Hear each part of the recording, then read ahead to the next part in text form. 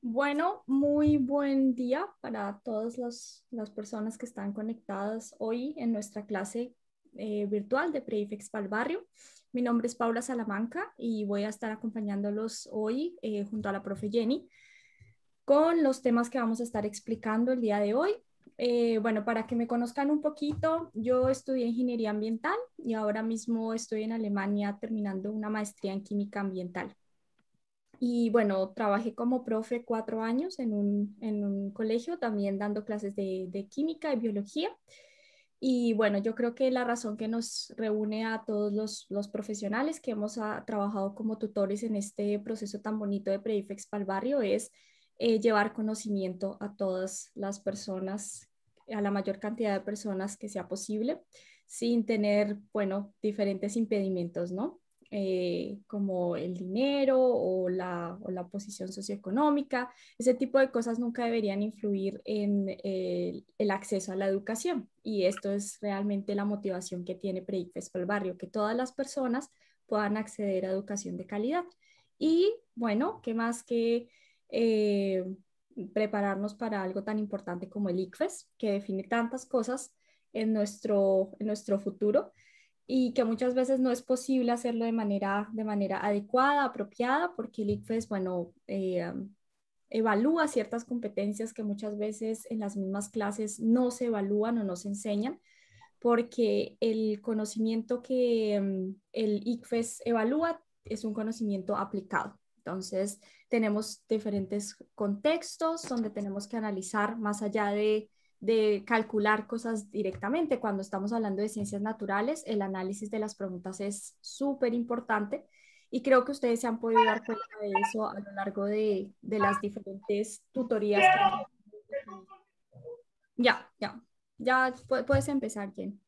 Listo, bueno muchachos, muy buenas tardes para todos porque ya son las doce y media. Espero que ustedes estén muy, pero muy bien. Eh, bienvenidos a esta clase. Mi nombre es Jenny El Carmen Velázquez, soy ingeniera química, eh, magíster también en ingeniería química.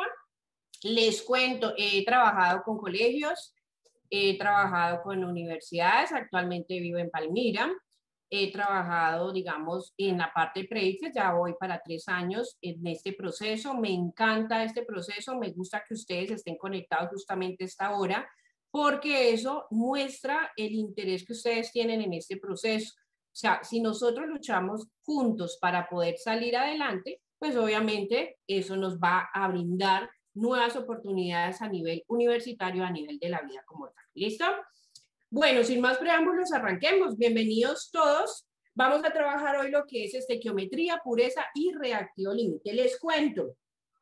Eh, Vamos a trabajar bajo esta dinámica. Vamos a mostrar las preguntas, vamos a hablar de las preguntas. La idea es darles un tiempo para que ustedes puedan, digamos, leer las opciones, analizar las opciones. Posteriormente a ese tiempo, ustedes colocan en su chat cuál es la opción correcta para ustedes. Me encantaría más que, digamos, digas que digas la A, la B, la C o la D, digas, digamos, por qué escogiste tú esa opción. ¿Listo? En algunos momentos, obviamente, van a participar algunos. Vamos a activar los micrófonos para que ustedes puedan participar y posteriormente empezamos a analizar las opciones de respuesta y cómo, digamos, llegamos a la opción que requerimos. ¿Listo? Bueno, sin más preámbulos, como les decía, vamos a trabajar hoy estequiometría, pureza, reactivo límite. Agradezco me confirmen si se está observando pantalla. Creería que sí. Sí, señor. Sí, sí observa. Esto entonces arranquemos. Miren, eh, como digamos una parte importante de la que es la estequiometría. Como ustedes ven en esta parte de acá abajito, la estequiometría tiene que ver justamente con eso, con eh, la cantidad de algo que ingresa y la cantidad de algo que sale. Debe tener, digamos, un punto de equilibrio de lo que ingresa y lo que sale.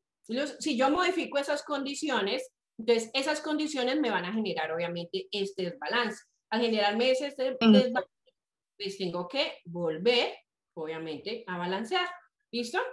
Y cuando hablamos de pureza y reactivo límite, pues la pureza tiene que ver con si tú tienes algo, una sustancia y esa sustancia tiene otras sustancias más, pues esa circunstancia de importancia de interés es lo que para nosotros nos va a determinar la parte de la pureza. ¿Listo? Eh, ya les están compartiendo la presentación como para que ustedes allí, la, eh, digamos, la empiecen a descargar y empecemos ya a trabajar con ellos como tal. ¿Listo? Eh, Reacteo Límite, entonces vamos a arrancar con el videito, bueno, antes del videito. Vamos a trabajar hoy tres competencias. En esas tres preguntas que vamos a hacer, vamos a trabajar esas competencias. La indagación, la explicación de fenómenos y el uso comprensivo del conocimiento científico.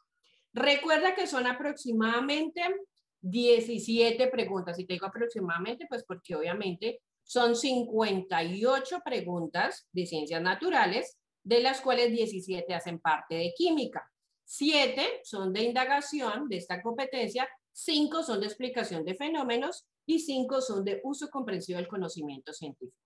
En indagación, ¿qué te van a preguntar? Pues te van a hablar justamente de la capacidad que tú tienes para reconocer una pregunta, de cómo tú coges una pregunta o cómo tú coges un contexto que te están brindando y cómo de ahí sacas una conclusión. Listo, en especial análisis de gráficas, tablas, datos, información que se digamos, se requiera seleccionar, interpretar y convertir a partir de un patrón que te den, que sería una tabla y demás. ¿Listo? La explicación de fenómenos, ¿qué significa? Es la competencia que va de la mano con experimentos. Como tú ves algo, ah, se cayó una hoja. Bueno, pero a raíz de que se cayó esa hoja. ¿Listo? ¿Cómo se genera ese fenómeno y cómo tú lo puedes explicar o argumentar mediante lo que tú has eh, digamos, aprendió durante tu año lectivo y tu parte, digamos, experimental. No solamente en el laboratorio, sino también en tu vida real. O sea que hay que meterse a la cocina. Hay que meterse en todo este campo de la naturaleza y empezar a analizar y observar. Y esta, que es uso comprensión del conocimiento científico, me habla de todo lo que tú tienes aquí y en este corazoncito, es decir, todos esos conceptos, esas teorías, todo lo que has aprendido en clase, todo lo que tú analizas con tu entorno. ¿Ok? Dentro, digamos, de estas competencias, pues vamos a hablar de este componente. Ya ustedes en unidades pasadas participaron de estas clases sincrónicas y asincrónicas sobre cambios químicos, modelo, modelamiento atómico, enlaces, configuración electrónica, propiedades de la materia, soluciones y hoy vamos a hablar de estequiometría, pureza y reactivo límite.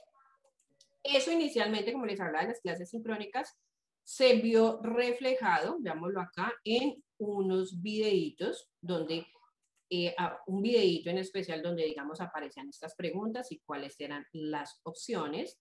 Esta fue la primera pregunta, esta fue la segunda pregunta, ¿listo? Para que ustedes, digamos, lo tengan en cuenta. Finalmente, esas preguntas obedecen a este nivel de desempeño, es decir, nosotros estamos evaluando con este, con este eje temático el nivel 3 de desempeño.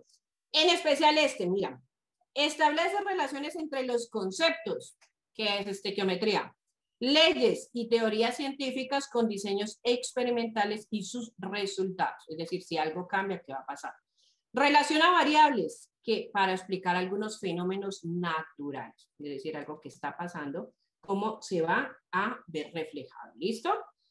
Muy bien, espero que hayan visto el video, hayan digamos, identificado esas preguntas para que podamos ya arrancar con las preguntas que tenemos para hoy. Listo. Entonces, como les decía, veamos entonces, esa es nuestra primera pregunta.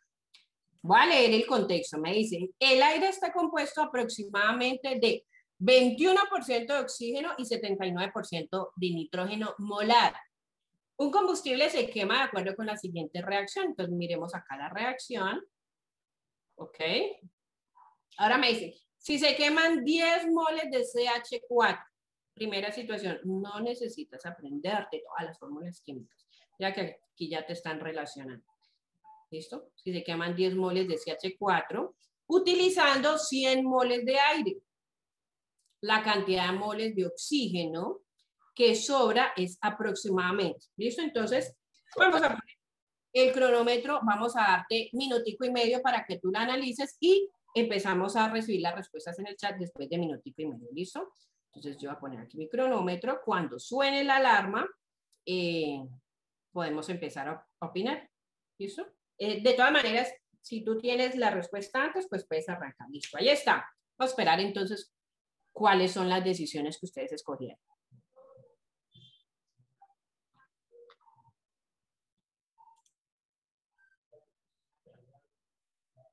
Ya casi suena la alarma.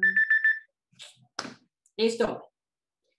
Cuéntenme entonces cuál es para ustedes la relación, aquí cuál es la opción correcta, ¿ok? Fabio, aquí, eh, digamos, vamos a aclarar esos conceptos. Si tú no viste el video, vamos a socializar aquí preguntas, obviamente, con esta temática. Eso es justamente, digamos, mientras ustedes van votando, eh, yo les voy contando. Los videos son para que tú los puedas, digamos, observar y ahí salgan inquietudes, dudas, comentarios.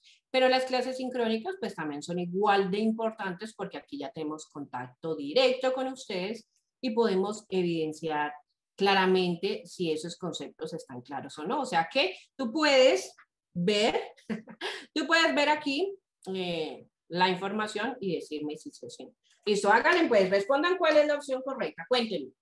Listo, Nicolás ya, Juliana, listo. Tranquilos que si no saben cuál es, de igual manera lo que me interesa es que ustedes opinen. Listo, cuéntenme, si sé, no sé, para mí es esta, ¿ok?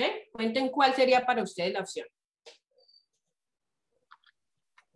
Excelente, tenemos a nuestra compañera Paula Salamanca que nos está apoyando en el proceso del chat. Cuéntenme, cuéntenme, tengo en estos momentos a 52 participantes. Necesitamos opciones, muchachos. Listo. ¿Cuál sería, Caterina, entonces? Cuéntame cuál sería para ti. Santa dice que es la B. ya tenemos Listo, ya tenemos a Nicolás. Tal vez Caterina nos puede contar qué operación, qué, qué es. Listo, Mari, muy bien. ¿Qué me dicen los demás? Cristian dice que es la C. Listo, muy bien, Cristian. Jessica, sí, claro, en este tipo de, digamos, de proceso se tiene que balancear por tanteo, muchachos. Nos dan pocas sustancias, porque el tiempo que nos dan límite son dos minutos aproximadamente por cada pregunta. O sea, que las reacciones son reacciones cortas. Es el proceso más rápido es claro. Tanteo. ¿Listo? Muy bien. Ok. ¿Qué me dicen los demás? Cuéntenme, cuéntenme, muchachos. ¿Cuál sería para ustedes? Listo, Juliet. Bueno, estamos entre la B y la C. Cierto, Paula. Estamos entonces entre estas dos. Ah,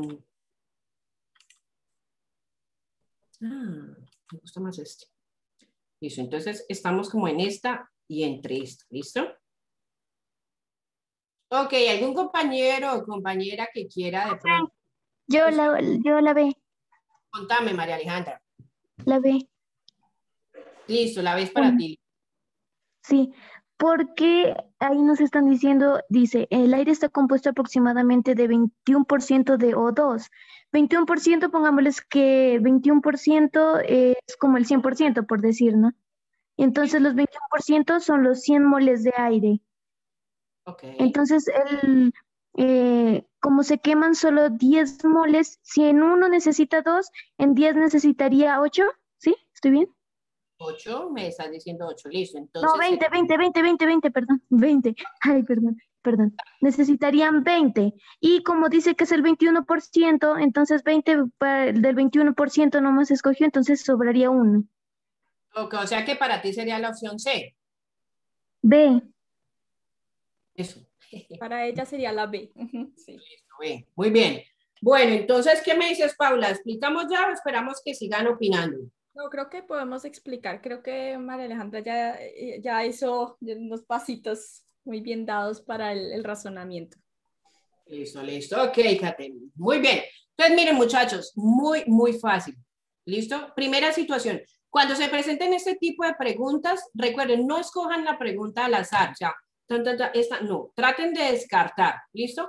Algo que nos dijo nuestra compañera es súper importante. Este porcentaje que me dan aquí es algo que me sirve para poder analizar esta información. Me dicen, el aire está compuesto aproximadamente de 21% de oxígeno y 79% de nitrógeno. Y en la reacción, si ustedes ven, obviamente, muy bien, estamos trabajando con oxígeno, ¿listo? Oxígeno. Entonces, ¿qué sucede? De ese oxígeno que se está utilizando, que es el 21% del aire, y el aire son 100 moles. Entonces, listo, de metano, que es el CH4, tenemos 10 moles, y en aire, aire, le voy a poner por aquí el aire, como tú dices, son 100 moles. Estos son 100 moles. de esas 100 moles, 21% de esas 100 moles son solamente oxígeno. ¿Listo? Hasta allí creo que está un poquito más claro. de, esa, de ese, todo ese aire, 21% es lo que necesito. Lo demás son impurezas, es decir, lo demás es nitrógeno. Necesito solamente el oxígeno. O sea, que realmente 21 son moles. ¿De quién? De oxígeno. Esos 21 son moles de oxígeno. Eso me perdona si rayo toda la diapositiva, pero espero que quede un poquito más claro. 21 son moles de oxígeno. Ahora, ¿qué está pasando? La relación que ustedes ven aquí es una mol de metano, como dices tú, por cada dos moles de oxígeno. Si utilizamos 10 moles, entonces vamos a, como se acuerdan del sube y baja, como dices tú, se necesitan, aquí esta relación 1 a 2, entonces va a ser por cada 10 se va a necesitar 20. ¿Listo? Me dicen cuánto sobra. Pues si se utilizan 20 y hay 21, sobra una mol. Respuesta correcta, efectivamente. La opción correcta aquí es la opción B. Sobraría una mol. ¿Listo? Muchachos, preguntas, comentarios, dudas, inquietudes. Cuéntenme alguna duda, algo que les que queden, digamos, y que no quede claro. O si está claro. Ah, sencillo. ¿Qué me dice Fabio? Eh, sobre la estequiometría, bueno, esto es estequiometría, ¿verdad? ¿Sí? Este, pues como yo todavía estoy perdido en esto, lo que yo entendí es que está el, está el compuesto de, de, metano, este es metano, no, este es... Sí, metano. Metano, sí. Entonces, aquí tiene que ver eh, la cantidad de, de, moles que se utiliza de aire, ¿sí? Y la N, la, el nitrógeno que está en el aire, no se utiliza para nada. Es la impureza. es la impureza. Entonces, esa se corta.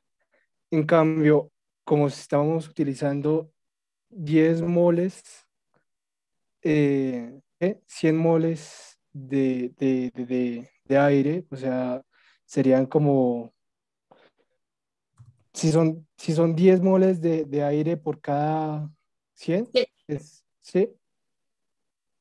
Sí, son 100 moles de aire, o sea, todo está este aire. Sí. 21 de oxígeno y 79 de nitrógeno. Solamente necesitamos el oxígeno, no más. Entonces, entonces tenemos 2 moles de, de, oxígeno.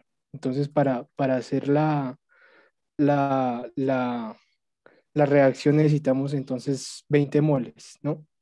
¿Cierto? Y dice que, dice que que utilizamos 21, ¿en dónde dice que utilizamos 21? Ah, 21, 21, sí, 21%. Acuérdate. Sí, entonces ya. Ya, ya. Ah, ya. Manéjalo como la vida real. Mira, 100 moles es, digamos, haz de cuenta que es como un precio. Entonces, ah, son 100, pero solamente necesitamos el 21%. Dice el 21%. Si tú divides esas 100 partes, por así decirlo, Solamente de allí sacan la, hasta el 21, que es lo que tú necesitas. Y por eso es que ese 21 se expresa en moles, que es lo que necesitamos para poder utilizar nuestra reacción. Lo demás sobra. Entonces, como 21% es oxígeno, solamente utilizamos ese 21. De ahí sale ese 21. Entonces, aquí está la reacción. Cuando ustedes les hablan de moles, la reacción ya está balanceada. Tengan en cuenta eso. No necesitan ustedes balancear, la reacción ya está balanceada. Entonces, aquí está la relación 1 a 2. Si lo subo a 10, que son las moles de metano, pues entonces este también se va a ver alterado. ¿Listo? Entonces, este ya va a ser 20. ¿Ok?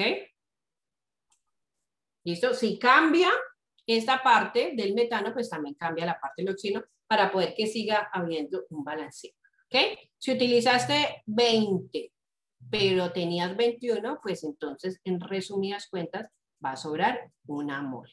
Y por eso la opción aquí es la opción B. Entonces, estaba fácil, ¿sí o no? Como ustedes me dicen, estaba fácil. Vamos entonces ahora a continuar con la siguiente pregunta. Pregunta, pregunta, pregunta. Listo, veamos entonces esta pregunta. Y me dicen, el carbonato de calcio también se puede descomponer por calentamiento, como se muestra en la siguiente ecuación. Entonces, ahí nos están mostrando la ecuación. ¿Saben qué significa ese triangulito que está debajo de la flecha? No sé si es esotérmica o endotérmica. ¿Qué se está calentando? Esotérmica o endotérmica. Eso significa que está requiriendo calor. ¿Listo? Porque aquí me dice, se descompone por calentamiento, entonces sería endo. ¿Listo? Sería endo porque está necesitando calor para poder hacer su proceso. Es ese triangulito efectivamente necesita calor. Muy bien. Ok, ok. Entonces, tenemos la reacción. Luego me dicen que la masa molar del carbonato de calcio es 100 gramos sobre mol, es decir, una mol de carbonato son 100 gramos. Ya ahí me están dando este dato que está en la tabla periódica, pero es que no nos dejan llevar tabla periódica, nos dan los datos ya en muchas ocasiones ya listicos. Ahora me dice, a condiciones normales se determina el contenido de dióxido de carbono a partir de la descomposición de una muestra de 500 gramos de roca que contiene 25% de carbonato de calcio. De acuerdo con lo anterior, la cantidad de moles de dióxido de carbono que se produce es. ¿Listo? Miren, aquí estamos, digamos, relacionándolo algo muy importante con respecto a la pregunta anterior. Me están hablando justamente de un porcentaje de pureza. ¿Listo? Y me están dando 500 gramos de roca. ¿Listo? Bueno, entonces les voy a dar un tiempito para que ustedes lo analicen. Ok, ya María José nos escribe allí en qué época nos vamos a trabajar lectura crítica, para mi compañerita que estaba preguntando. Les voy a dar un tiempo entonces, minutico 50 para que ustedes identifiquen. Bueno, aquí ya tenemos A y B. Otra vez estamos entre las dos primeras opciones de respuesta. ¿Quién más? Vamos que tenemos 52 participantes, 57, así que...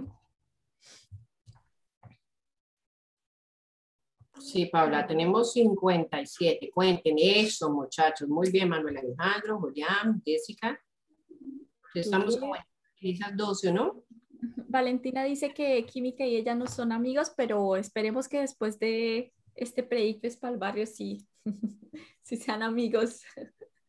La química es muy fácil, es muy fácil. Tienes que, digamos, relacionarla con lo que te rodea, porque la química es demasiado fácil. Además es muy útil para entender por qué las cosas funcionan de tal manera. Tampoco, Vamos que esto está más fácil que el anterior. Sí, sí, sí, eso es muy, es muy sí, esto está, esto está más fácil. Esto está más fácil que el anterior. Imagínense las cosas también, muchachos. Imagínense eh, lo que está pasando. Digamos, si hay alguna palabra allí que no conozcan o que tengan dudas, pues también me pueden decir o nos pueden decir. Palabras de ti que no conozcan, que digan, uy, no, yo no tengo ni idea qué significa eso. Si ustedes no conocen el carbonato de calcio, imagínense una roca, una roca de cierto tamaño, color, pero hagan el ejercicio de imaginar las cosas para que así lo puedan entender un poquito, poquito más fácil. ¿Eso no sería una sal? Sí, es una sal. Ok, muy bien, María Alejandra. Estás entre la A y la B. El tiempo ya, ya, se, ya se acabó, ¿cierto? ¿O todavía nos quedan? Ya el tiempo ya, ya, ya, final, final, no va más. Ya tú me dices cuando, le arrancamos con esta explicación? ¿Algún compañero que de pronto, algún compañero, futuro colega que quiera, digamos, explicar esta pregunta? Pues, profe, pues, pues pensando en que uno no tiene mucho tiempo para responder estas preguntas, lo único que hice fue como que, digamos, sacar el 25% de 500. Ok, sacar el 25% de Eh, 12,5, o sea, perdón, 1,25, o sea, la B. O sea, que a ti te dio esto. Bueno, sería igual sacar como el, el 25% de, de 500 gramos, que son 5 moles, ¿no? Ok, 5 moles. O sea que para ti sería cuál? La B. O sea, convertir 500 gramos en, en moles, que es igual a 5 moles. Listo, son 5 moles. Listo, ya tiene las 5 moles. El ¿Y luego qué haces? 25%. Ujú. Pero el punto es que dice que tan solo tiene el 25% de 500 gramos, que sería igual a 125 gramos. Ok, o sea que les dio 5. A ver, me dice Andrea, a la muestra de 500 le puedo sacar el 25%, que son 125 gramos. Y a eso lo divido en gramos sobre mol. El carbonato lo que me da, ¿cuántas moles son? Mm. ¿Qué opinas tú, Paula? ¿Qué nos dice? ¿Qué, nos, cómo, cómo les de- ¿Qué les decimos a los chicos acá? Creo que la, Ah, bueno, Pues- ya. la- Ah, estamos entre A y B. Bueno, pero a mí me parece que el, el razonamiento que Andrea está, está haciendo es acertado. Si tenemos los 500 gramos de, de roca y a esto le obten- sacamos el 25%, que es lo que eh, es el carbonato de calcio, y luego a esto lo convertimos porque tenemos en gramos, tenemos un- en unidades en gramos y tenemos que convertirlo en moles, ¿cierto? Entonces, para eso utilizamos la masa molar del carbonato de calcio, que es 100 gramos sobre mol. Ujú. Excelente, entonces miren, eso. Lo que les digo, no se compliquen. No se Así- compliquen, esto, es- esto es así de fácil como ustedes lo están haciendo y como le están trabajando. Listo, aquí justamente me están dando una información, y es que cada 100 gramos son una mol. ¿Listo? Y si vemos la reacción, pues evidentemente la reacción está balanceada. Y me dicen, como ustedes me están manifestando, sin, no te preocupes, Mari, tranquilo, tranquilo. Son 500 gramos. Hace una mol, son 100 gramos. ¿Listo? Acá me están hablando de 500 gramos. ¿Listo? De 500 gramos. Entonces, ustedes, el cálculo que hicieron efectivamente fue el que utilizaron y les dio 125, sacaron, dijeron, ah, de esos 500 gramos que nosotros tenemos de roca, solamente el 25% es lo que necesitamos. ¿Listo? Solamente el 25%. ¿Ok? Listo, ahí yo quiero explicar. Contame, María Alejandra, claro. Listo. Bueno, primero lo que sería es 500 gramos es el 100%. Entonces ponemos eh, 25%, ¿cuánto? 25 por 500 dividido entre 100 da 125 gramos. Listo.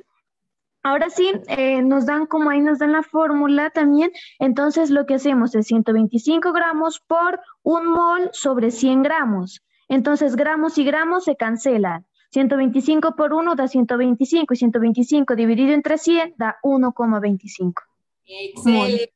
Esa María Alejandra está, pero mejor dicho, conectadísima. Entonces, si ven, miren, en esta parte de química, la estequiometría se relaciona mucho con la parte matemática. O sea, sumar, restar, multiplicar, dividir. Esas cuatro operaciones básicas les va a servir a ustedes mucho. Entonces, es re fácil. Y se habla mucho de porcentaje. Miren que en matemática ustedes también van a utilizar porcentajes. Entonces, aquí en estequiometría la relación es matemática importantísimo. Entonces, lo que ustedes hicieron, listo, excelente. Son 500 gramos la roca, esta roca, y utilizamos el 25%, entonces tenemos 125 gramos. Y listo, esto fue lo que hizo mi querida y estimada futura colega profesional. Si 100 gramos, excelente, son una mol, son una mol, Juliana, entonces... nos está, Juliana nos está diciendo que si lo podemos explicar un poquito más lento. eh, Ah, entonces- claro, claro, Juliana, aquí lo estoy haciendo justamente. Entonces, vuelvo otra vez como a repetir, pero yo borro control A, control. Todo y volvemos a empezar eso. Vamos a hacerlo. Miren, me están diciendo 500 gramos de roca. ¿Listo? Ah, la roca qué es. Entonces, no sé de pronto para los que viven en el Valle del Cauca, esta roca es una piedra que es una- un montón de piedras allá en Viges. ¿Listo? De esta roca, de esta roca, ella tiene sustancias químicas, entre ellas el carbonato de calcio. ¿Listo? O lo que uno conoce como la piedra caliza. esa roca tiene el carbonato de calcio que es el, es el que necesitamos. Entonces, ¿qué hacen? Calientan esa roca y cuando calientan esa roca sale el óxido de calcio que usted lo mezcla con agua y empieza a pintar. O sea, cuando usted utiliza para pintar, se está utilizando ese óxido de calcio. Y el otro es obviamente el dióxido de carbono, que es un gas, como para contextualizarlos qué significa esta reacción. Entonces, de esa roca, de esa roca, tan, tan, tan, Entonces, tenemos esa piedra. De esa, esa piedra tiene la sustancia importante que yo necesito, que es el carbonato de calcio. ¿Listo? Carbonato de calcio. Caco 3. Caco 3. Esa vez más grande. ¿Listo? De allí, de todos esos 500 gramos, yo solamente voy a utilizar el 25%. ¿Listo? Solamente voy a utilizar el 25%. ¿Listo? Es para que ustedes lo tengan un poquito más claro. Ustedes recuerden que el 100% serían todos esos 500 gramos. Si lo dividen entre 4, cada pedacito va a ser el 25%. ¿Listo? 25%, 25%, 25%, 25%. Aquí tenemos todos los 500 gramos. Y si hacen la relación, ese pedacito que es el 25% apenas, que es lo que necesito, lo demás no lo necesito, porque serían las impurezas que no necesito, es decir, no sería el carbonato de calcio, cuando hago la relación, multiplico ese 25 por los 500 gramos y me da 125 gramos. ¿Listo? Que es realmente el carbonato de calcio. ¿Listo? 125 gramos de el carbonato de calcio.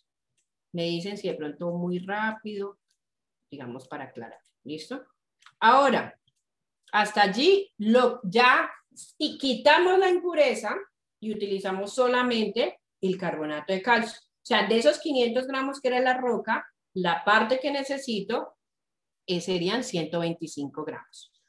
Y esta relación que me están dando acá, me dicen que la masa molar del carbonato de calcio son 100 gramos por una sola mol. Entonces, sencillo, si 100 gramos del carbonato de calcio son una sola mol, es decir, 1, los 125, ¿cuántos serían?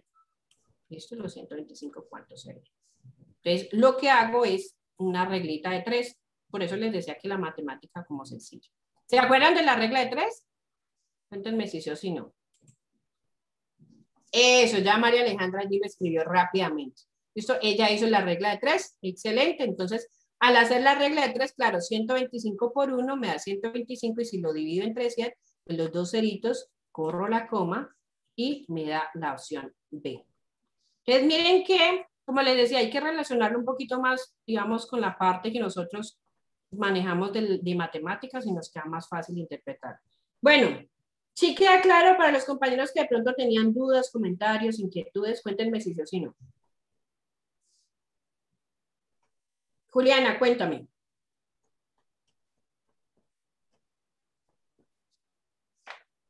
Eso, también la misma cosa. Muy bien. Eh, Andrea hizo otra, otra explicación clara. Si 500, si 500 son el 100%, la mitad serían 50%, la mitad de esa mitad serían 25%, que es lo que uno utiliza en matemáticas, ¿no? Lo importante es que ustedes, digamos, sepan aprender a sacar esos porcentajes, porque son los que exclusivamente les hablan de eh, la parte de pureza.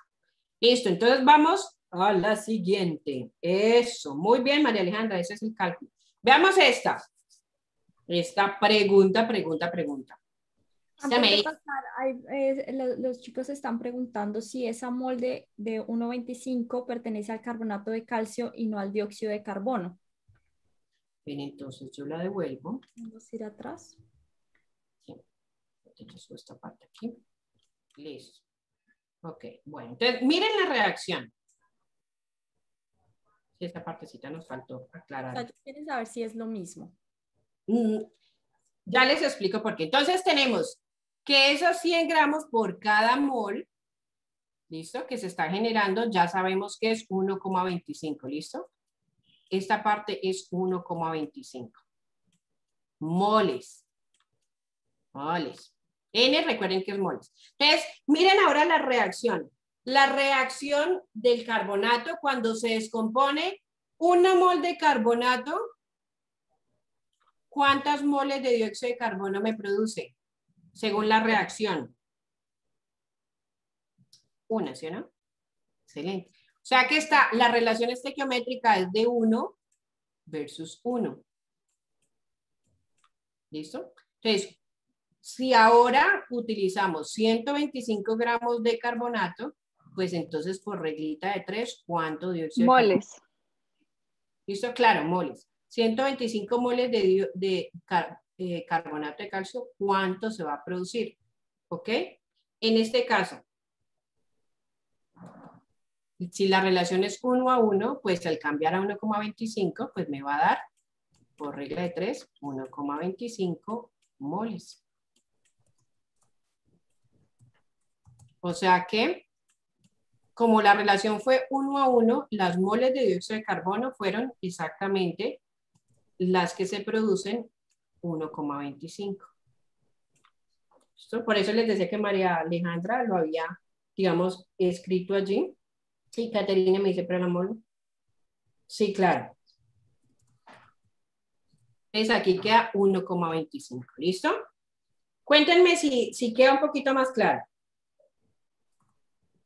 A ver, me dice Mari. ¿Y por qué 1,25 y no 125? Porque recuerden que eran 125 gramos. Cuando hicimos la regla de 3 para pasarlo a moles, nos dio 1,25 moles de carbonato de calcio. ¿Ok? Muy importante que miremos en qué nos están preguntando, porque ahí no nos están preguntando cuántos gramos, sino la cantidad de moles. Por eso esa unidad que tenemos en gramos tenemos que pasarla a moles y por eso estamos utilizando la masa molar en gramos sobre mol. Eso. Entonces ya hay, digamos, lo que se está manejando es la relación ya en moles. Lo que le están preguntando es moles. ¿Listo? Y obviamente es una regla de tres directa, pues una regla de tres muy sencilla. Por el tiempo, muchachos. Recuerden que el tiempo es máximo dos minutos. ¿Listo? Bueno, entonces resumamos. De esos 500 gramos, que era toda la roca, lo sacaste el 25% y eso te dio 125 gramos. Esos 125 gramos lo convertiste a moles utilizando la masa molar. ¿Listo? Dijiste que si 100 gramos son una mol, entonces 125, ¿cuántos serán? ¿Listo? Entonces, cuando tú haces esta reglita de 3, pues te dieron 1,25 moles de carbonato. Esto de carbonato, de CACO 3. ¿Listo? Luego te fuiste a la reacción química y te diste cuenta que en la reacción, la relación del reactivo, que es el carbonato, es 1 y del producto, que es el que nos están preguntando, que es el gas, es 1. Y esto es la relación molar, 1, 1 de moles, 1 a 1. Entonces, si tú tienes 1,25 moles de carbonato, pues ¿cuánto se va a producir?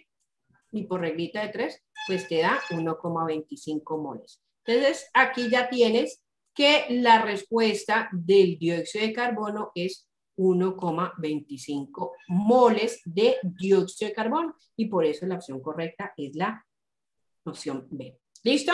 Cuéntenme si quedan dudas antes de que pasemos a la siguiente. Aquí en el chat no hay ninguna pregunta. Creo que la última pregunta era esto del, dióxido de carbono. Ah, sí, listo, la, listo. La partecita de acá de la, de la reacción, Mari, ¿no la entendiste? La parte de la reacción. Ok, listo. Entonces, mira, cuando tú ves la reacción, la reacción, el número, acuérdate que el número que está, eh, o digamos los coeficientes grandes son las moles, ¿no? Entonces, si tú ves la relación molar, es decir, hay una mol de carbonato de calcio, que se descompone y me produce una mol de dióxido de carbono.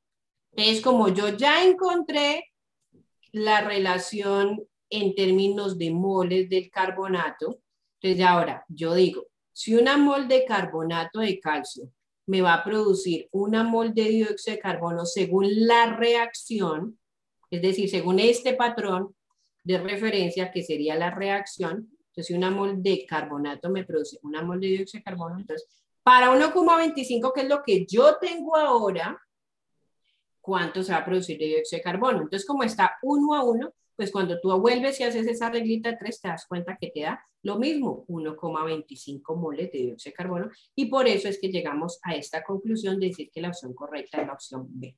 ¿Listo, Mari? Cuéntame si sí o si no. Que haya claro.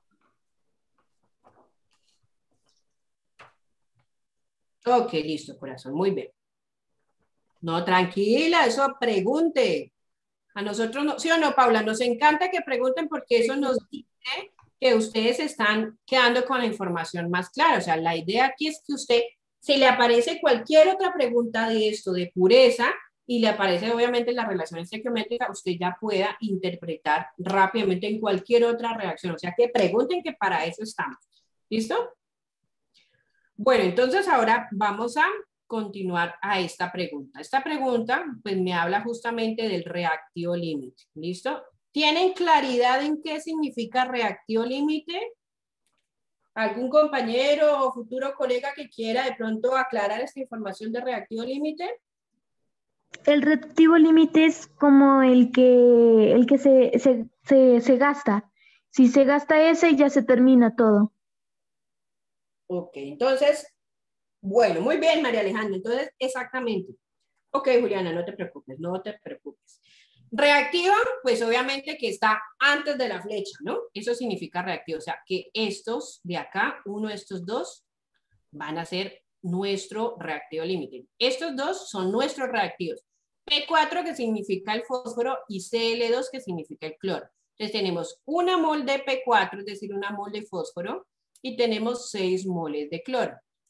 Ellos están antes de la reacción, ellos son reactivos. Límite, como dice mi querida y futura colega, límite es el que limita la reacción. Es decir, si ese se acabó, ya, final, final no va más. O como ese se acabó, ya con lo que quedó, entonces se hace la reacción. Y el otro, pues obviamente, va a quedar, un, va a sobrar algo. ¿Listo? Es el que sobra, no es el reactivo límite. Por eso se dice reactivo límite. Limita la reacción. Es el que se consume completamente y a partir de él es que sacamos los cálculos para saber qué pasa con esos productos. ¿Ok? Eso, el otro, muy bien, sería, Mari, sería reactivo en exceso. ¿Listo? Justamente de eso nos están diciendo aquí que analicemos.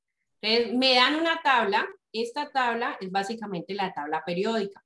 ¿Listo? Como nosotros no nos dejan llevar la tabla periódica para el examen, pues nos, dan, nos tienen que dar los datos, ¿sí? Entonces nos están dando los datos. Miren que nos dan en gramos sobre mol. Listo, aquí ya le están dando el dato por cada mol. Para el fósforo, para el cloro y para el producto que sería el cloruro de fósforo. ¿Listo? Y me dice, de acuerdo con la información anterior, si reaccionan 124 gramos de fósforo con 200 gramos de cloro, ¿cuál es el reactivo límite? ¿Ok?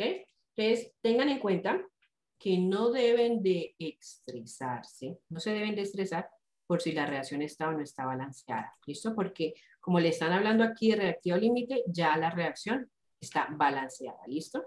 Entonces pueden partir de ello. Ok, vamos entonces a darnos minutico y medio de tiempo para que identifiquen cuál es. ¿Listo? bien, les voy a esperar a que algo muy importante es que no solamente el elemento debe estar bien, sino la razón por la cual la respuesta es la correcta. Bueno, entonces tienen minuto y medio para que escriban en el chat o lo piensen, lo analicen y puedan decir cuál creen que es la respuesta correcta.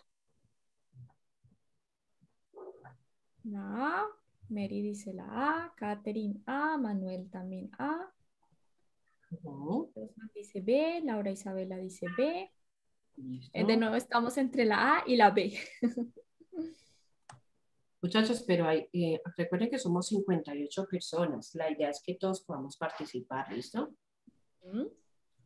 No les dé pena preguntar, hablar, participar.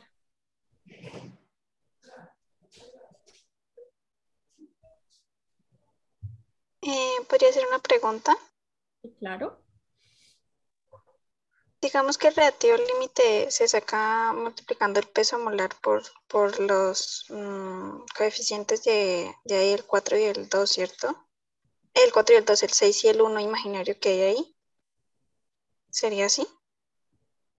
Tienes que utilizar obviamente esa tabla periódica, por eso te la dan allí. O sea, tienes que utilizar esta información que te dan allí. Muy parecido a lo que hicimos en el ejercicio anterior. Que teníamos una información en gramos y tenemos que expresarla en moles. Los coeficientes de los que estás hablando, Laura, sí son importantes, pero ya, ya, ya ahorita la profe Jenny nos va a explicar por qué son importantes. ¿Listo? Pues vamos a esperar que Ahí nos dan la masa, ¿cierto? Ya en los cuatro coeficientes, cuatro y dos. La tienes ahí en la, en la tablita que te dice el fósforo, el cloro, tienen cierta masa molar. Mira que te están dando el dato por una sola mol. Profe, hay un cálculo que se hace y es así.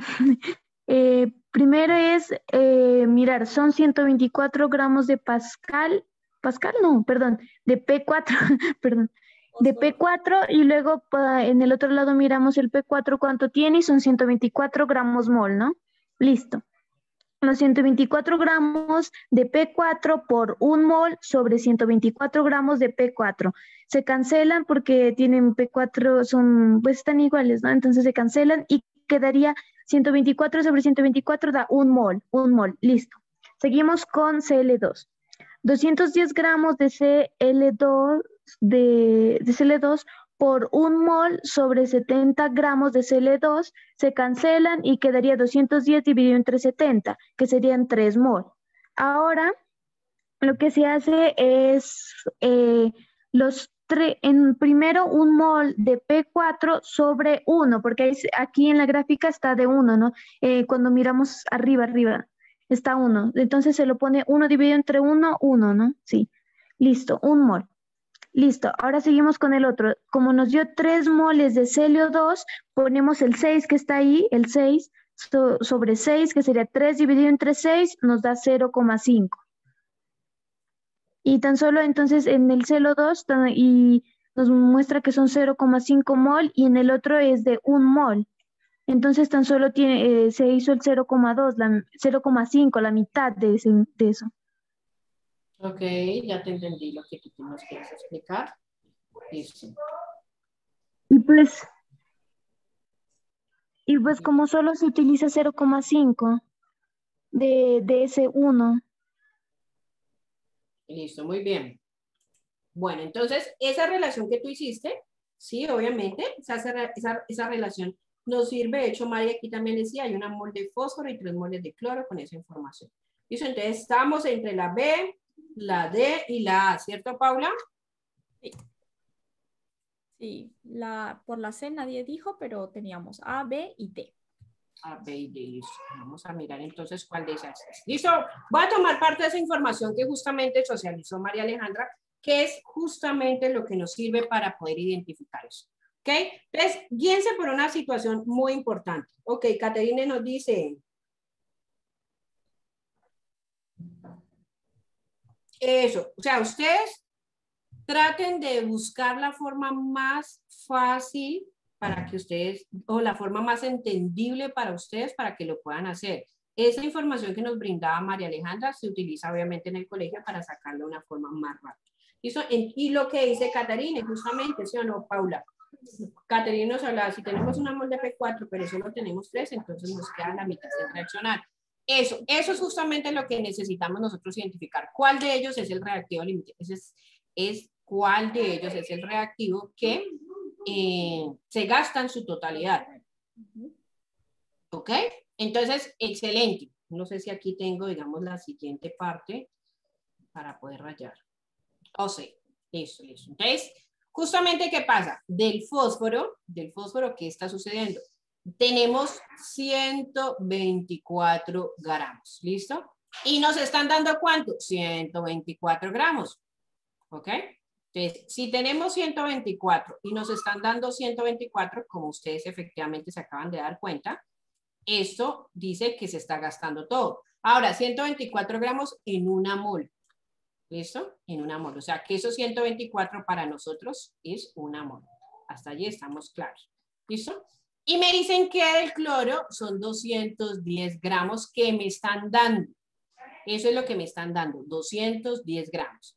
Pero cuando tú te das cuenta, en, en la reacción que es el patrón de referencia, se necesitan 6 de cloro, 6 moles de cloro.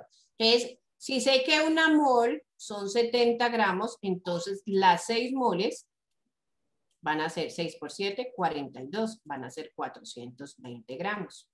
¿Listo? 420 gramos. ¿Ok? Para la reacción necesitas 124 gramos y necesitas 420 gramos, si lo vas a expresar en términos de gramos. ¿Ok? Esas, esa sustancia, todas esas 6 moles son 420 gramos. Te están dando 124 y apenas te están dando 210 gramos. Es decir, te están dando la mitad de cloro. Necesitas 420 y te dan 210 y el otro sí te dan 124. Entonces, ¿cuál es el reactivo límite? ¿Sí o qué?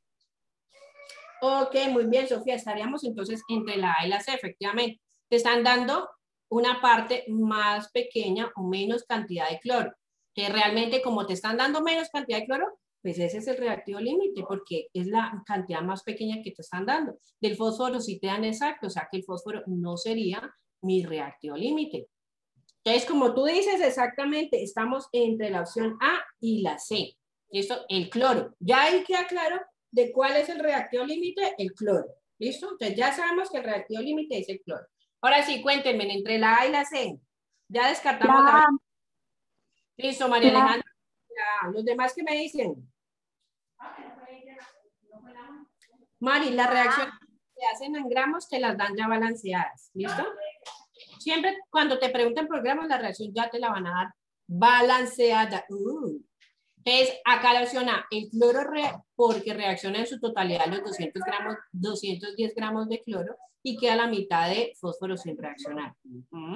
Y acá me dice la, el cloro porque según la relación estequiométrica necesitan 6 moles de cloro sin importar la cantidad de P4.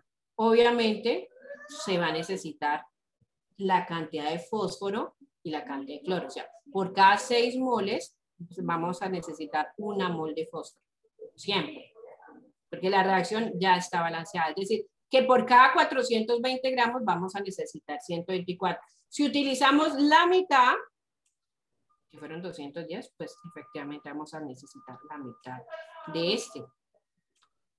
Listo, vamos a necesitar una cantidad menor de fósforo y ese es el que va a sobrar. El cloro, porque reaccionan en su totalidad los 210 gramos, efectivamente, y queda la mitad sin reaccionar, efectivamente. Opción correcta, la opción A. La C, ya vimos que queda descartada porque sí importa la cantidad de fósforo también que se va a utilizar. Ok. Dice, la respuesta estaba en el enunciado y saber qué es un reactivo límite. Para no se Contanos, Nicole. ¿De dónde salió los 420? sino que mejor wifi. Dale, dale, no te preocupes. Como acá nos están diciendo que el cloro, una mol son 70 gramos, entonces en la reacción el balanceo me daba que eran 6. Entonces yo multipliqué 70 por 6, me dan 420 gramos. 6 por 7, 42 y le agrego el 0. Sí, ya, ya viste dónde sale. ¿Entendido? Eh, Jessica pregunta por qué, por qué queda la mitad. Listo, entonces, reaccionar. Entonces, listo. Porque mira, por 124 gramos necesitas 420. Si tienes la mitad, listo, acuérdate del equilibrio. Si uno baja la mitad, pues el otro, hay una ley que se llama la ley de la conservación de la materia o la ley de la conservación de la masa. Si baja un lado, tiene que bajar el otro en la misma proporción. Entonces, si este bajó a, este moles bajó a 3, o sea, bajó a la mitad, este moles tiene que bajar al medio. O sea, si de 420 bajó a 210, entonces de 124 también vamos a utilizar la mitad. Eso es decir, eh, el medio que estamos nosotros haciendo, eh, digamos, en relación estequiométrica, proporcional. Si este 420 te bajaste a la mitad, de este 124 también te tendrías que bajar a la mitad. O sea que efectivamente serían ¿cuánto? Serían la mitad de 12, 6, la mitad de 4, 2. O sea que utilizarías solamente 62 gramos y quedarían 62 sin reaccionar. ¿Listo? Cuéntame, Jessica, ¿sí queda ya un poco más claro esa parte? sí. sí. sí, listo, corazón, muy bien. Eh, digamos, espero que hasta llegamos esa relación. Miren que estamos utilizando mucho la parte de relación estequiométrica y tenemos que tener en cuenta la ley de la conservación. La ley de la conservación me dice que todo lo que entra tiene que salir, o sea, todo se tiene que conservar. Por eso es que cuando te hablan de gramos, la reacción ya te la dan balanceada. Si tú alteras algo, o sea, si bajas algo, bajas en la misma proporción lo otro. Si bajas a la mitad, lo otro lo bajas a la mitad. Si lo subes al doble, este también tiene que subir al doble. ¿Sí me van a entender? Entonces siempre se tiene que conservar esa misma eh, relación, esa, esa misma proporción. ¿Listo? Por eso hablamos de la ley de la conservación. ¿Ok? Bueno, entonces espero que esta sí haya quedado, digamos, digamos, más clara con respecto a esa ley de la conservación. Todo es la ley de la conservación. Ahora sí, siguiente pregunta. Cuarta pregunta. Veamos entonces esa cuarta pregunta. Eh, Paula, ¿tú me ayudas a leerla, porfis? Sí. Durante un ensayo de laboratorio se agregan 56.1 gramos de hidróxido de potasio sólido a un litro de una solución 1 molar de cloruro de sodio en agua y se agita hasta la disolución completa del sólido. Luego tenemos la ecuación de la reacción, entonces tenemos el cloruro de sodio, que es sal, el hidróxido de potasio y luego nos da hidróxido de sodio y cloruro de potasio.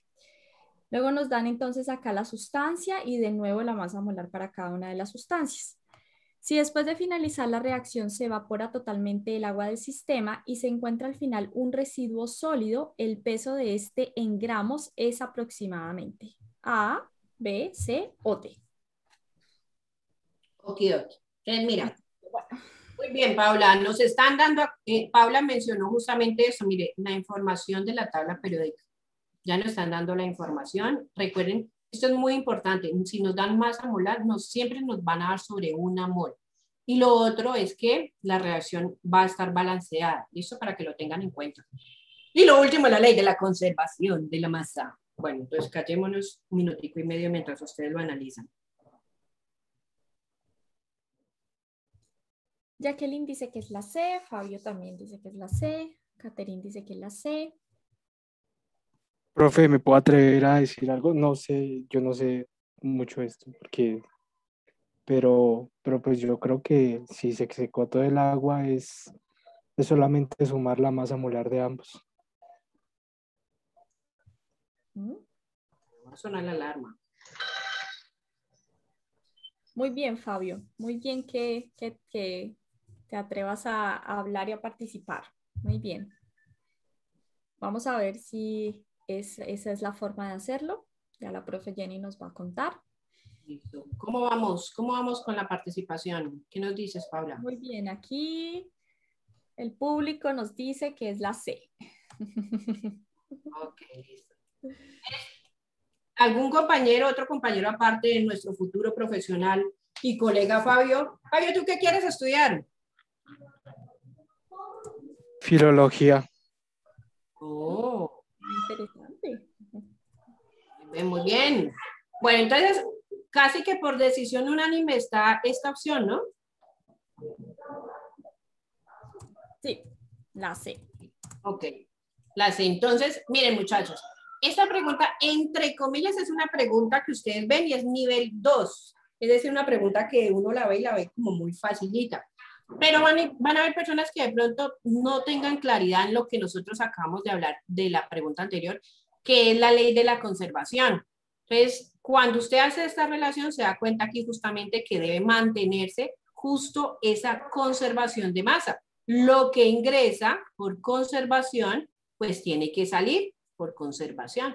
Esto si yo miro estas masas de acá, acá me están hablando 56, un gramo de hidróxido de potasio, o sea que es esta misma información. Y me dicen que estamos hablando del cloruro de sodio, que es la sal de cocina, 58,5. Si usted hace esta sumita, que son los reactivos, por relación de masa, de ley de la conservación, pues lo que entra tiene que salir. ¿Listo? Entonces, simplemente quitamos el agua, como lo acaba de decir nuestro compañero Fabio, y si sumamos esto, Sumen, ¿cuánto les da 58,5 más 56,1? 5 y 1, 6. eh, 8 y 5, 14, y 5 y 5, 10 lleva una, me da 114,6 ingresando, ¿no? 114,6 gramos. Y si sale, entonces 40 y 74,6, entonces 6,47411. ¿Listo? Miren que se conserva la ley de las, que le, de las que le hablo. Lo que ingresa es igual a lo que sale. ¿Listo? De pronto, algunos tienden como a confundirse por esta partecita que me hablan de, digamos, la concentración molar, que es un litro de solución y, y, y pues. ¿Listo?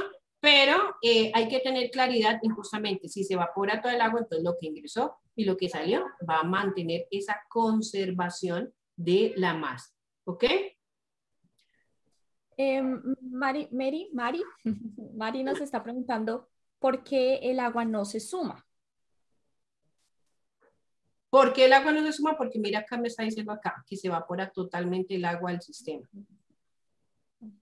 Entonces ya no la tienen en cuenta. No la tenemos en Además, el agua se, se conoce como, o sea, es como un producto como, ¿cómo decirlo? Como que se extra muchas veces no se tiene en cuenta a la hora de que llega y salió, porque en la reacción, o sea, en la fórmula, no aparece el agua, sino como que aparece como un complemento. Entonces, la, eh, la profesora del año pasado explicó más o menos eso. No sé si está bien. O sea, por la mayoría de veces, el agua desciende como en el producto final. Ok, listo. Sí, efectivamente eso. En esta parte, aquí les hablan justamente esta solución. Cuando nosotros hacemos eh, las sustancias o cuando hacemos un balance, debemos de tener en cuenta eso. Si la, si la sal de cocina, pues es una sustancia que está sólida, hay que disolverla en agua. ¿Listo? Y si ustedes ven el KOH, esta S significa que está en estado sólido.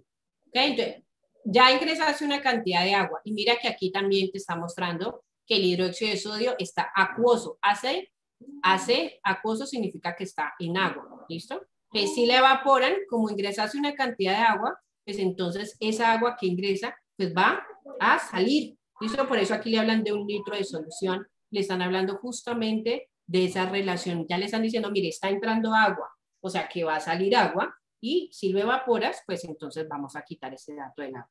¿Ok? ¿Cómo se sabe cuando se utiliza la ley de la conservación, Luz Karime? La ley de la conservación siempre va a aplicar. Miren, yo me devuelvo un momentico a las preguntas anteriores. Entonces, esto. Excuse me, excuse me. Miren, aquí la ley de la conservación se da. Si tú haces esta relación, también, si sumas esto, te va a dar igual a lo que sale. Cuando, ¿Cómo haces para darte cuenta? Porque realmente la reacción te la dan balanceada, o sea, que la relación de conservación se está dando, el equilibrio se está dando. ¿Y qué te dicen a ti desde el punto de vista estequiométrico? Ah, ¿qué pasa si baja? Ah, ¿qué pasa si sube? ¿Listo? Entonces, en ese sentido, Jenny, tal vez les, pueda, les puedas eh, mostrar aquí si tenemos cuatro átomos de, de, fósforo, después vamos a tener cuatro moléculas del fósforo acá, o sea, para que lo, lo puedan ver con los, con los eh, subíndices y los, eh, y los coeficientes. Tal Listo. vez es un poquito más, más, más sencillo para que lo puedan entender. Listo. Ok, muy bien. Entonces, la situación de, de la ley de la conservación, digamos, tú la aplicas teniendo en cuenta en esta reacción, tú aquí ya estás, eh, digamos, teniendo en cuenta esa ley de la conservación. ¿Por qué? Porque estás identificando que la ecuación ya está balanceada, o sea que sí está cumpliendo con la ley de la conservación. Entonces, como dice, digamos, Paula, aquí sí tú te das cuenta en el caso del fósforo, ingresan cuatro y salen cuatro. O sea, el fósforo cumple con la ley de la conservación. El cloro, dos por este seis, o sea, las moles por los átomos, en el caso del cloro, me dan 12. ¿Listo? Entonces, entra 12 y 4 por 3 me da 2. O sea que sí está cumpliendo con la ley de la conservación.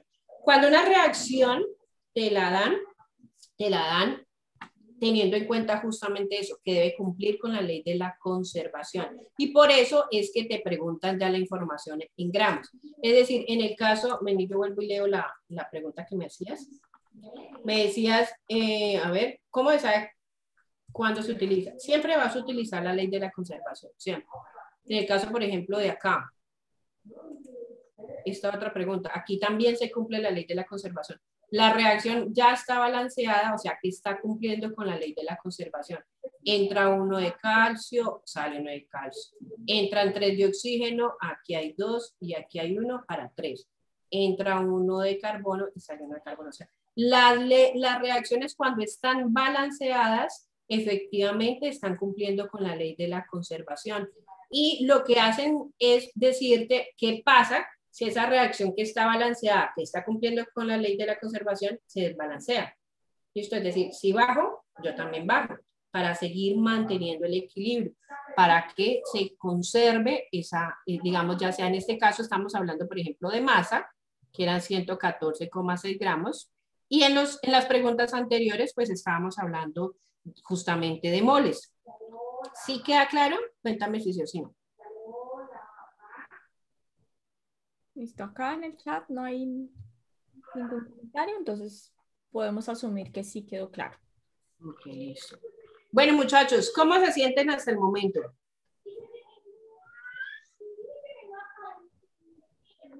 Cuéntenme. Ya entendí, pues, muy bien. Ok, listo. Preguntas, comentarios, dudas, inquietudes, quejas, reclamos, regalos, juguetes. A ver. Cuéntenme. Profe, este, ¿puedo dar una opinión sobre, sobre esa pregunta? Claro. Teniendo en cuenta que la pregunta le están ahí como están preguntando, si tenemos en cuenta que, que la materia ni se crea ni se destruye, sino que se transforma, ¿cierto, profe? Tenemos que los mismos gramos que tenemos al principio, lo tendremos al final. Sin, eh, pues, sin contar la masa de agua que, que, que, actúa como disolvente. De, de, manera que para saber que para hacer que el, si el, residuo sólido que tenemos una vez evaporado, como eh, eh, ¿se me capta, cierto, profe? ¿Se me entiende? Sí, sí, claro. Yo te entiendo. ¿Qué me dicen los demás compañeros? Sí, Yo también lo entiendo. Ya, pues prosigo es, solamente simplemente sumar la cantidad de, de NaCl, ¿cómo se llama realmente ahí? De NaCl. Sal de cocina. Eh, ah, sal de cocina, gracias. Y el KOH que tenemos, nos dicen que, que, que de NaCl, de sal de cocina, tenemos un litro y es 1M, es decir, tenemos un molde N de sal de cocina y un molde... Chucha, ya me confundí, me perdí. y un molde son 58.5 58 gramos de, de, sal de cocina, ¿cierto? Em, por otro lado, también tenemos que el, KO, el KOH nos dicen que se añade 56.1 gramos, y no de manera que en, que en, total tenemos que es eso, sumar 58.5 gramos de NaCl más los 56. 0.g gramos de coche, a la cual daría la respuesta a la cual todos decimos que fue la C. Esa es mi opinión, profe. Eso, excelente. Entonces, efectivamente, eso es lo que, lo que tú dices, la ley de la, la conservación de la materia, lo que entra tiene que salir. Si te están hablando de un litro de solución, situación, recuerden, lo voy a mencionar aquí, pero ustedes, digamos ahora, más adelante, pues van a tener también la clase. Tienen que tener en cuenta que en la solución una solución, yo tengo soluto y tengo solvente, como tú acabas de decir. El soluto es la sustancia que a mí me interesa para hacer el proceso. ¿Listo? Y el solvente en este caso es agua. O sea que si yo disuelvo el, la sal de cocina, pues esa sal de cocina serían estos 58,5 en una cantidad de agua para que me dé la solución. Pero la sustancia importante para la reacción es los solutos, es decir, estas fórmulas químicas que tenemos acá. ¿Listo? Excelente. Tal vez que em, así como Manuel estaba explicando la forma en que él entendió y pudo resolver la, la pregunta, siempre es importante que ustedes pues lean la pregunta y escojan el camino más sencillo o para poder hacer el análisis. Nosotros acá, la profe Jenny está haciendo un proceso y les está explicando con los términos apropiados, pero seguramente cuando ustedes se encuentren con una pregunta de este tipo, tienen que hacer ciertos análisis y no interesa el proceso siempre y cuando el resultado, la, la, la respuesta sea la correcta. Entonces, el, proceso de análisis para todos tal vez va a ser diferente. Aquí pudimos ver que cada uno resolvió la, la, pregunta o las preguntas de una forma distinta. Sin embargo, lo importante es obtener la respuesta correcta al final. Bueno. Listo. Ok, profe. Eh, bueno, corazones, entonces eh, llevamos aproximadamente, ¿cuánto, profe? Por ahí una, hora, 20 minutos. Empezamos a las 75, sí, más o menos una hora, 15 minutos. Listo, entonces muchachos, no sé si recuerden que hoy a las cuatro y media también van a tener nuevamente preguntas, no van a ser las mismas preguntas, van a ser otras preguntas relacionadas con este mismo tema. Estequiometría, que es lo que estamos viendo aquí, que tiene que ver con la ley de la conservación, eh, pureza, que fue lo que vimos en las dos primeras preguntas, y reactivo límite, que lo vimos en la pregunta número 3. ¿Listo? Entonces, bueno, em, situación importante. Esta era, bueno, la explicación que iba a dar. Em, no sé si alcancemos, profe, no sé si alcancen ustedes para que veamos esta última pregunta o si dejamos allí, ustedes me dirán. María Alejandra dice que necesita más clases. Cuatro y media, acuérdate que de esta temática, cuatro y media, vamos a, digamos, a ver más preguntas, otras cuatro o cinco preguntas de esta misma información con el profe Víctor y nuestro profesional Kevin. Em, bueno, los chicos están diciendo que sí, que resolvamos la, la, pregunta, así que... Listo, entonces vamos a hacer esta última pregunta. ¿Listo? Esta sería la última. Vamos. La última y nos vamos a almorzar. listo, sigamos entonces con esta última pregunta. Esto es por si alcanzamos. Acá me dice, el proceso de halogenación de 1-propino se lleva a cabo mediante dos reacciones consecutivas de adición. ¿Cómo se muestra en el siguiente esquema? Entonces, miren el esquema. Ahora me dice, suponiendo rendimiento del 100% para producir una mol de esta sustancia, por medio de adición sucesiva de cloro se requieren. Entonces, vamos a ver las opciones. Ustedes van a ver las opciones y miren que esta es una reacción estequiométrica. ¿Listo? Es una relación estequiométrica, estamos hablando de estequiometría y estamos hablando de estequiometría relacionada hacia la parte orgánica. ¿Ok? Entonces, si tienen algunas dudas sobre qué significa alguna de los esquemas que ustedes están viendo, eh, inmediatamente escriba allí. ¿Listo? Mientras tanto, yo le voy a dar el tiempo para que usted pueda analizar las opciones los que de pronto tienen un poquito más, son un poquito más duchos en este concepto de química orgánica estequiométrica y votamos. ¿Listo? Entonces, minutico y medio para que la pensemos. Ya faltan 20 segundos. Los que de pronto quieran opinar pueden, así que voy a mirar aquí el cronómetro en cuanto va. Bueno, Manuel Alejandro dice C, Catherine dice C también. Pero que nos cuenten por qué ya sé. Estoy viendo también las respuestas que nos están colocando. Cuéntenos, cuéntenos. Disculpe, ¿cuál es el cloro gaseoso? El CL2. Ok. Míralo aquí. Míralo acá. Catherine Pineda dice D. Aquí mezclamos como un poquito de todo, ¿no? Para que queden así bien sustanciosos ustedes con la información. Y no olviden conectarse los que puedan a las cuatro y media para continuar esta información por si de pronto ustedes quedaron con dudas en cuanto a esta, a esta clase. ¿Listo? Ok, Fabi me dice la D o la C. Listo. C o D. Listo. ¿En cuáles estamos, profe? La C y la D. Sí, si no están como por ese lado. ¿Qué me dicen los demás? Cuenten los demás muchachos. Tenemos 51 integrantes en este grupo. Sí, sí. Mm.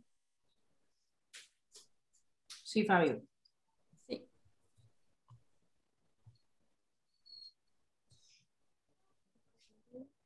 ¿Cuál es el cloro gaseoso, Jesús? Ya la profe lo subrayó en rojo.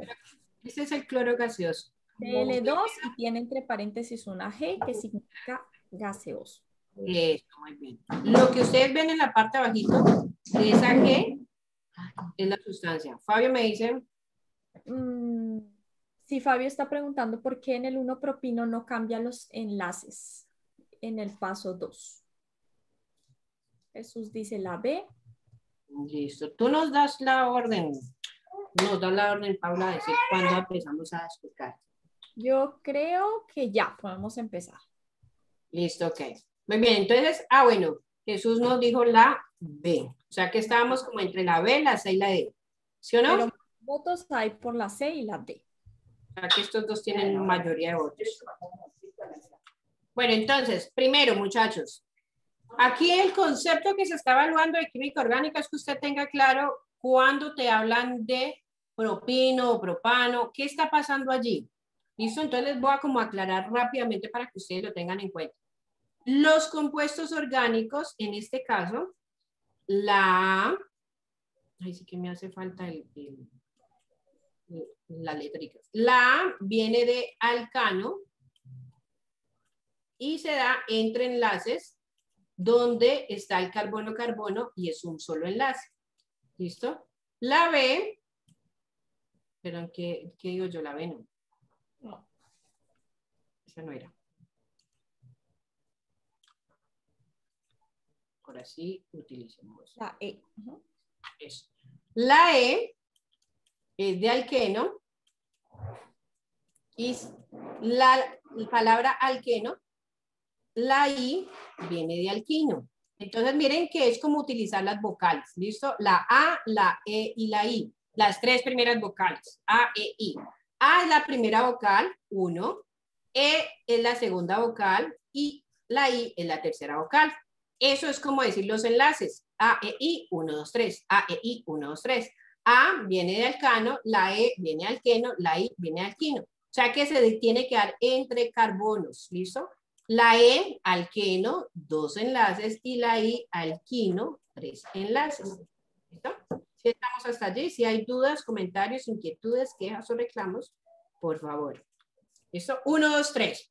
A, E, I, uno, dos, tres. Alcano, alqueno y alquino. Alcano, un enlace, alqueno, dos enlaces y alquino, tres enlaces. ¿Listo? Esa parte, digamos, ya resuelve esto. Entonces, ¿qué está pasando con esos enlaces? Siempre se van a romper. Lo que está haciendo allí el cloro con ese proceso de alegenación es romper esos enlaces. Él rompe los enlaces. Entonces, para la reacción, vemos que en el paso 1 utilizamos una mol de cloro que está rompiendo el enlace. Pues como no los pueden romper todos de una vez, como si tuviéramos tres ladrillos allí, cuando mandan el golpe no se pueden romper todos de una vez, hay que hacerlo en dos pasos. En el primer paso rompen un solo enlace, por eso queda convertido en alqueno, es decir, en doble enlace. Ahora sí, ese vuelvo y le doy el machetazo con el cloro, es decir, con otra mol de cloro y vuelvo y rompo y ya me queda convertido en un alcano.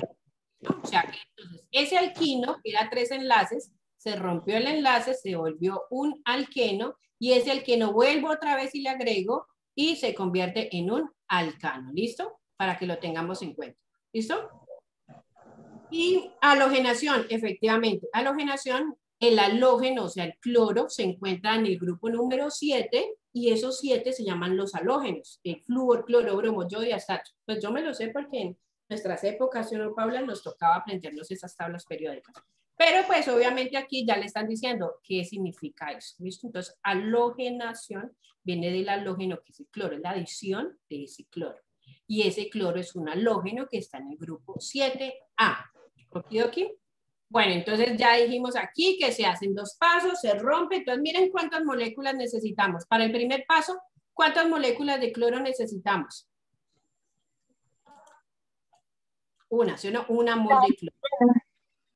Eso, muy bien, María Alejandra. ¿Qué me vas a decir, María Alejandra? No, solo era una que iba a decir. Eso, muy bien. Y para el segundo paso, pues necesitamos otra mol de cloro. Es decir, que en realidad estamos utilizando un total de dos moles de cloro para poder romper ese propino. ¿Listo? Que sería esta sustancia. ¿Listo? Y de esa manera, pues entonces el CH3, Con el carbono, el triple enlace y el carbono con el hidrógeno. Recuerden que el carbono es tetravalente, es decir, tiene cuatro paticas, cuatro enlaces, que son los que me están mostrando aquí. Por eso aquí el carbono está con los tres hidrógenos y este enlace que vendría a ser su, cuarta, su cuarta patica. Entonces necesita dos moles de cloro para poder producir este alcano. ¿Listo? Por medio de estos dos pasos. Ahí ya resumí la reacción. Entonces me dice, por medio de la adición sucesiva de cloro se requieren cuatro moles de uno propino, pues ya vimos que efectivamente no eran cuatro moles. ¿Listo? Acá la B me dice dos moles de uno propino y cuatro moles de cloro. Cuatro moles no necesitamos de cloro. Y estábamos entre la C y la D que me decían dos moles de cloro y dos moles de cloro. Estas dos son ciertas. Entonces, entre la C y la D, ¿cuáles muchachos? ¿Cuál sería entre la C y la D? ¿Por qué? ¿Por qué? ¿Por qué sería la C?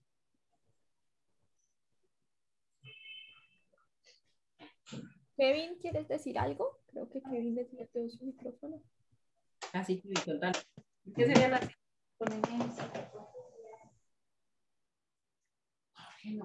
Dice Fabio porque se transforma en alquino. Ok, listo. Entonces tengan en cuenta que aquí el alquino, o sea, esa es nuestra sustancia. Hagan de cuenta que ese alquino son tres ladrillos. Y le dimos el primer machetazo, nos volvió un alquino. Luego le dimos el segundo machetazo con el cloro y nos quedó un alcano. Entonces, lo que hice yo aquí en esta parte fue sintetizar la reacción. Entonces, el alquino realmente es una sola mol. Es una sola mol de esa sustancia.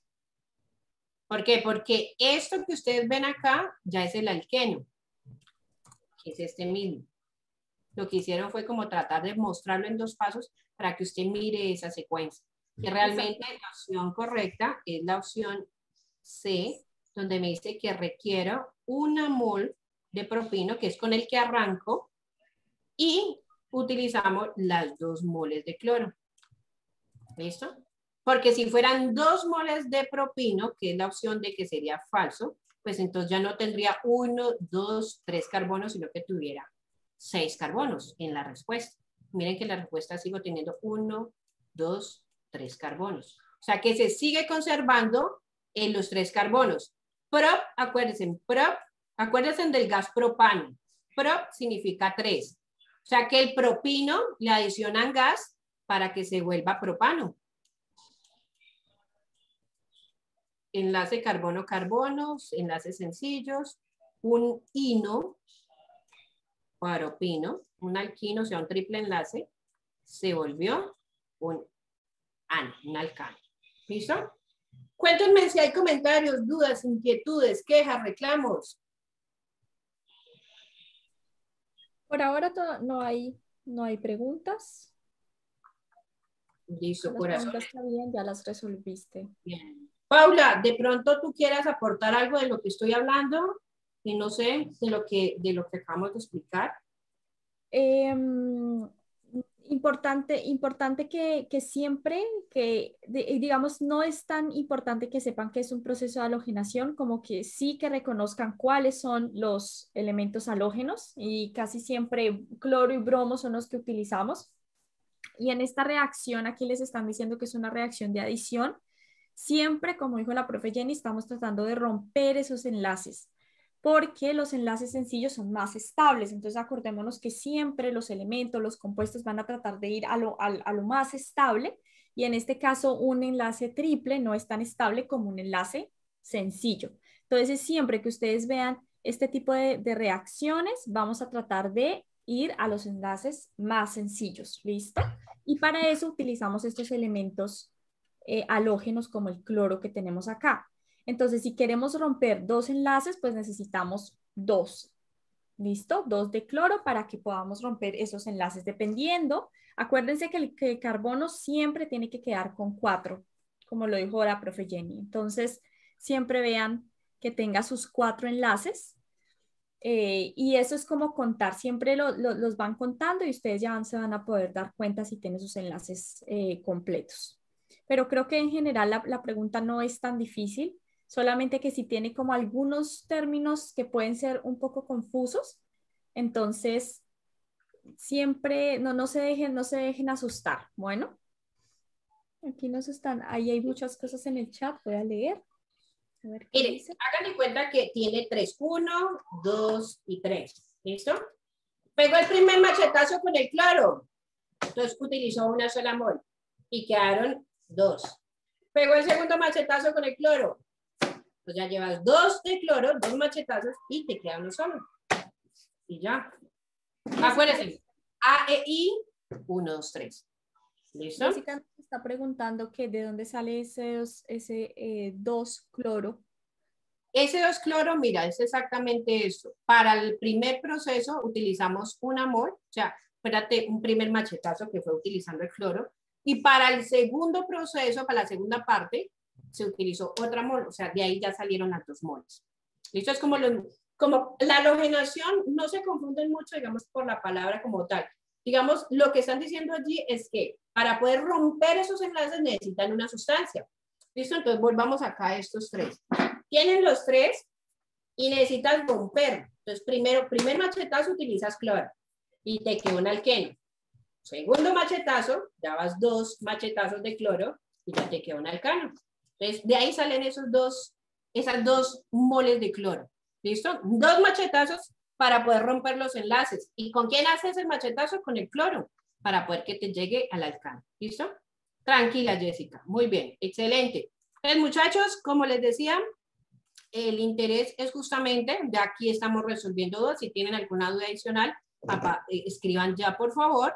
Y si no, pues entonces recuerden, hoy a las cuatro y media este es el enlace con el profe Víctor y el profe Kevin para que ustedes se puedan conectar y puedan, eh, digamos, acceder a la segunda clase de estequiometría que tiene que ver justamente con balanceo y reactivo límite. Este es el enlace. Eh, ya la profe nos va a enviar también el enlace por medio de la pantalla y bueno, ha sido, como dice fue de Lobo, ha sido por todo por mí hoy preguntas, comentarios, dudas, inquietudes y si no, nos iremos a almorzar. ¿Listo, Jessica? Eh, Jessica nos... Ah, bueno, ya leíste, ¿cierto? Sí, sí, sí. Ya te la voy a poner. Y si no, pues eh, también eh, recuerden que en, el, en la plataforma nosotros enviamos el, enviamos el archivo. Vamos a avanzar al final para que ustedes tengan en cuenta también, nosotros al final utilizamos una cibergrafía, información de mm, eh, lo que nosotros consideramos importante para que ustedes profundicen sus conceptos. También están en el video para que ustedes puedan obviamente acceder a esa información. ¿Listo? ¿Listo? Ese 1 propino significa que el triple enlace se encuentra en el primer carbono. Eso significa el 1 propino. Eso mira, está, perdón, yo borro todo esto. Eso significa, este viene prop que tiene uno, dos y tres carbonos. Y lo que me está diciendo con el 1 propino es que en el carbono 1 se está utilizando el, el, triple enlace. Eso es lo que significa. Pero para efectos del proceso, pues lo que necesitamos tener claro es que se están haciendo el rompimiento de esos enlaces. ¿Listo?